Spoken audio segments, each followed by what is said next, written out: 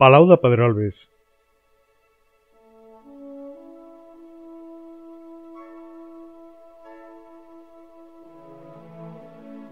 L'any 1919, la burgesia catalana va decidir oferir una residència als reis d'Espanya quan vinguessin a Barcelona.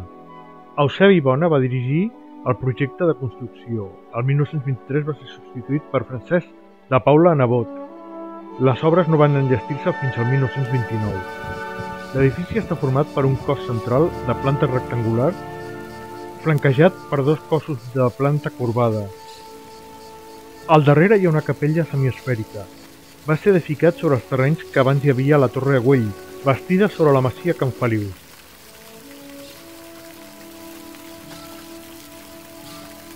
En 1919 la burguesía catalana decidió ofrecer una residencia a los reyes de España cuando vinieran a Barcelona. Eusebi Bona dirigió el proyecto de construcción. En 1923 fue sustituido por Francesc de Paula Anabot. Las obras no se terminaron hasta 1929. El edificio está formado por un cuerpo central de planta rectangular, flanqueado por dos cuerpos de planta curvada. Detrás hay una capilla semiesférica. Fue edificado sobre los terrenos en los que antes había estado la Torre Güell, construida sobre la masía Can Feliu.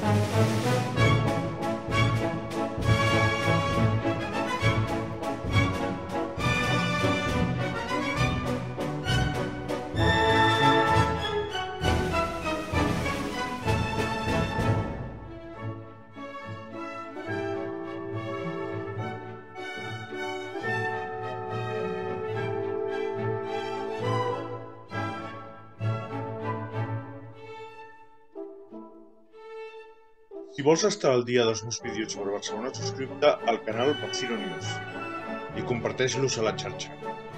Si quieres estar al día de mis vídeos sobre Barcelona, suscríbete al canal Barcino News y compártelos en la red.